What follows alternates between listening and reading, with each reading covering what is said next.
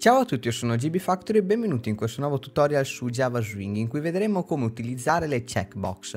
Le checkbox sono delle caselle di controllo in cui un utente può mettere o togliere una spunta con un semplice clic e si differenziano dai radio buttons che vedremo nella prossima volta perché mentre in un gruppo di checkbox può essere selezionato un qualsiasi numero di caselle oppure anche nessuna, in un gruppo di radio buttons deve essere selezionato necessariamente un'opzione. Andando nella documentazione, nella sezione dei costruttori, vediamo che abbiamo varie opzioni. Possiamo creare una checkbox senza specificare nulla oppure possiamo specificare un'icona o del testo che dopo verranno visualizzate qui vicino alla checkbox. Inoltre, oltre all'icona al testo, è possibile specificare un parametro booleano che se impostato a true imposterà la checkbox spuntata di default. Ovviamente è possibile anche combinare più opzioni. Invece il metodo indispensabile quando si utilizzano le checkbox lo troviamo qui nella lista dei metodi ereditati dalla classe AbstractButton ed è isSelected. Questo metodo ci consente di ottenere lo stato del bottone, quindi nello specifico lo stato della checkbox. Se la checkbox è selezionata restituirà true, mentre se non è selezionata restituirà false. Passiamo subito al nostro codice e vediamo come utilizzare le checkbox. Dato che stiamo lavorando in un programma di automobili, la nostra checkbox ci consentirà di selezionare se l'auto è venduta oppure no. E per rendere le cose un po' più interessanti, se la checkbox è spuntata, quindi nel caso l'auto fosse venduta, si sbloccherà un text field in cui noi potremo inserire la targa dell'automobile. Quindi iniziamo subito creando un po' di variabili. Partiamo dalla checkbox, private j checkbox e la chiameremo check vendita e dato che vogliamo gestire il nostro layout con il grid bag layout, invece di specificare del testo che apparirà qui vicino alla checkbox, ci creeremo una nostra label, quindi private JLabel, label vendita. Come abbiamo detto, la checkbox sbloccherà un campo per inserire la targa, quindi anche qui ci serve una JLabel label targa e un JText field, field targa.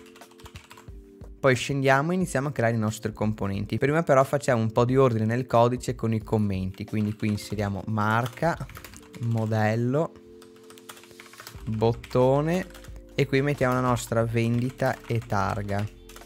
Iniziamo creando la label della vendita uguale new JLabel vendita e poi creiamo la nostra checkbox check vendita uguale new JCheckbox e come abbiamo detto non passeremo nulla nel costruttore aggiungiamo anche la targa label targa uguale new jlabel targa e field targa uguale new jtext field specifichiamo anche qui 15 colonne come abbiamo fatto negli altri due text field di default la label sarà deselezionata, quindi vogliamo che anche il field e la label della targa siano deselezionati, in modo che l'utente non possa inserire la targa nel caso l'auto non fosse venduta. Quindi utilizziamo il metodo setEnable e lo impostiamo a false sia per la label setEnable che per il field, quindi setEnable anche qui false. Adesso per capire quando l'utente mette o toglie la spunta useremo un action listener, proprio come abbiamo fatto con i bottoni, quindi check vendita, add action listener, new action listener. E all'interno qui la prima cosa da fare è prendere lo stato della checkbox con il metodo che abbiamo visto prima e salveremo il risultato di una variabile booleana, quindi boolean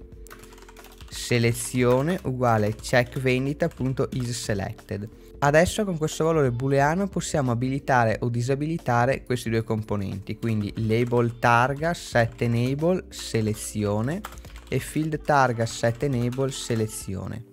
Se la checkbox viene cliccata per mettere la spunta, selezione sarà true e quindi questi componenti verranno abilitati. Se viene nuovamente cliccata per togliere la spunta, la selezione sarà false e questi componenti verranno disabilitati. Adesso che abbiamo creato tutto, dobbiamo aggiungere il nostro pannello col grid bag layout.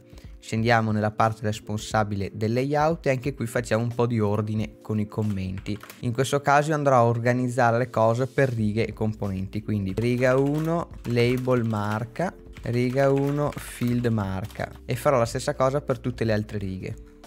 Ok, una volta fatto ciò siamo pronti ad aggiungere i nostri componenti. Per farlo ci basterà copiare la riga del modello in questo caso e cambiare un po' di cose. Intanto i commenti, in questo caso sarà label vendita e checkbox vendita. Modifichiamo le coordinate, ci spostiamo in giù sull'asse Y, andiamo a 2 e modifichiamo i componenti che vengono aggiunti. Label vendita e checkbox vendita.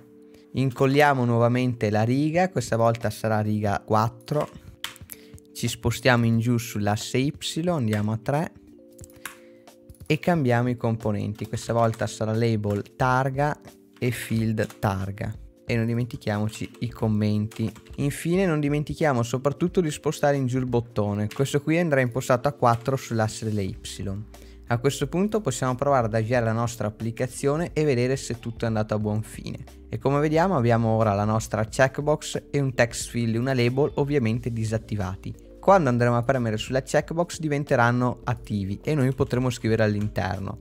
Se togliamo la checkbox verranno disattivati nuovamente. Una cosa che potrebbe essere interessante aggiungere è un comando che quando noi togliamo la spunta pulisce il contenuto all'interno del text field. Per farlo è molto semplice, basterà andare nuovamente all'interno dell'action listener e controllare quando selezione è false, quindi if segno di negazione selezione, dobbiamo pulire quel contenuto del field. Per farlo ci basterà prendere field targa, set text e inserire una stringa vuota.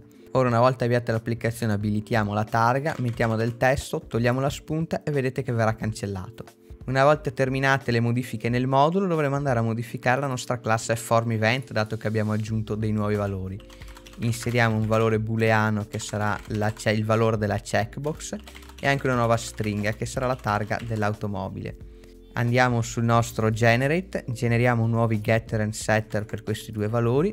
E come vedete una piccola parentesi che invece di utilizzare get vendita viene utilizzato is vendita. Questo perché questo metodo restituisce un valore booleano. Ecco adesso modifichiamo anche il nostro costruttore dato che abbiamo aggiunto altri parametri. Sempre su generate constructor selezioniamo tutto e diamo ok. E il costruttore verrà aggiornato automaticamente Adesso torniamo nel pannello form e modifichiamo anche la riga dove viene creato il form event passando i nuovi valori che prima però dovremo ottenere boolean vendita uguale check vendita.isSelected e string targa uguale field targa.getText. Passiamo nel nostro costruttore vendita e targa e ora questi valori saranno accessibili anche dal nostro frame utilizzando lo stesso sistema che abbiamo usato la volta scorsa. Quindi boolean vendita uguale fe.isVendita e string targa fe.getTarga possiamo aggiungerli qui venduta che aggiungiamo vendita. Andiamo a capo scriviamo targa due punti più targa. E non dimentichiamoci di andare nuovamente a capo avviamo la nostra applicazione, inseriamo marca, modello, mettiamo la stringa, mettiamo una targa a caso e vedete che nella nostra text area verranno riportati tutti i dati correttamente. Ecco per questo video è tutto, se vi è stato utile lasciate un like e non dimenticatevi di iscrivervi al canale e noi ci vediamo nel prossimo tutorial.